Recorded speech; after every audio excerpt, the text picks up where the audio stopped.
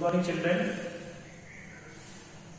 वसंत ऋतुराज वसंत पर आधारित हमने पाठ के अनुवाद, इसके पहले के वीडियो में और उपसर्गों का प्रयोग हमने देखा था।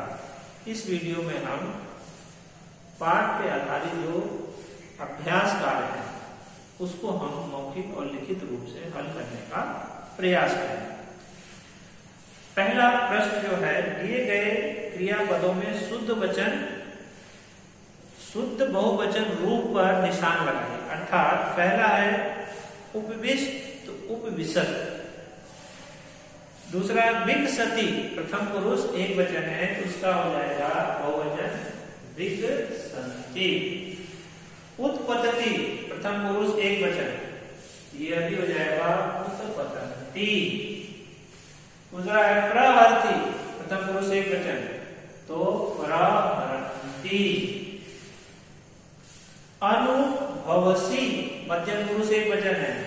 हो जाएगा इसका बहुवचन अनुभवत। फिर अवगछामी उत्तम पुरुष एक वचन। तो हो जाएगा अवगछाम आव आम बहुवचन होगा। दूसरा प्रश्न विद्यार्थी यहाँ है। एक एक शब्द में उत्तर दीजिए। एक पदे उत्तर, एक पद में उत्तर दी। पहला प्रश्न है विद्या, अध्यापकम उत प्रविशति। अध्यापक कहाँ प्रवेश करते हैं? तो कक्षा को तो उसका सस्ती शब्द होगा कक्षा को, कक्षायाम। कह ज्ञानम अनुसरती। कौन? ज्ञान का अनुसरण करते हैं। तो विद्वान विद्वान लोग।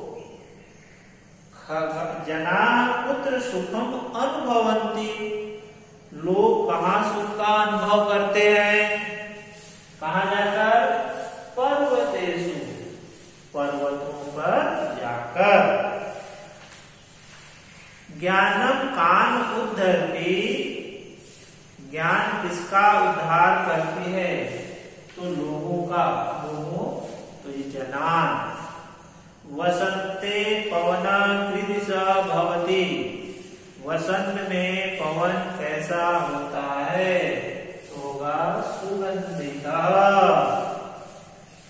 तीसरा प्रश्न, विद्यार्थी शुद्धानी कृत्वा लिख। शुद्ध करके लिखो। अब पहला वाक्य, बालका विद्या निर्गत। अब देखिए विद्यार्थी, यहाँ बालक जो शब्द है, वो बहुवचन है। बालका जो है, वो बहुवचन है। तो क्रिया भी बहुवचन रहता है। ती तह अंति अंति होना चाहिए यहाँ क्योंकि है द्विवचन। जिसका हो जाएगा निर्गछन्ति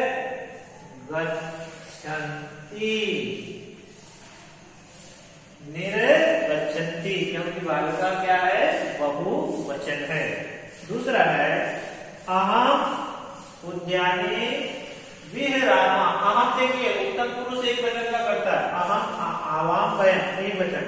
और यहाँ बहुवचन किया दिया था, यहाँ आम के साथ आगे जुड़ेगा। यहाँ हो जाएगा, विहरामी। लतायाम पुष्पाणी उद्भवसी, ये यहाँ पुष्पाणी बहुवचन है। तो यहाँ ये उत्तम पुरुष मध्यम पुरुष का एक वचन किया है यहाँ क्या हो जाएगा उद्भवंती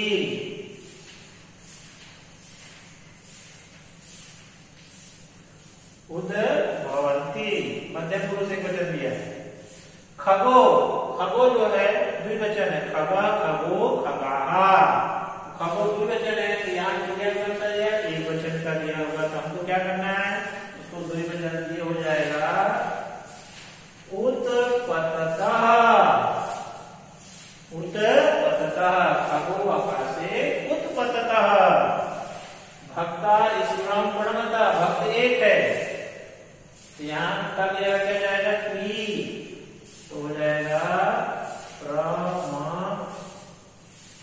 प्रणमाति इस प्रकार विद्यार्थी आपने वाक्य को कर्ता और क्रिया का रूप, उसके वचन, लिंग, काल के अनुसार उसे धातु के उस रूप को भरना होता है। धन्यवाद।